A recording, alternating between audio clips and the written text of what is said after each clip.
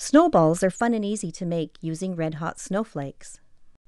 Before starting, you will need various sizes of styrofoam balls, one or two bags of red hot snowflakes, a large bowl, disposable gloves, and one can of water based spray adhesive. Simply spray a styrofoam ball and roll it in a bowl of our snowflakes. Press and voila!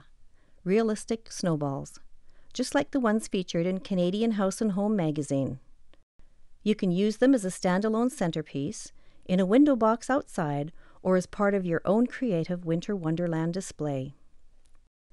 Sprinkle red hot snowflakes on bushes and shrubs outside your home or office, or create a beautiful mantle treatment.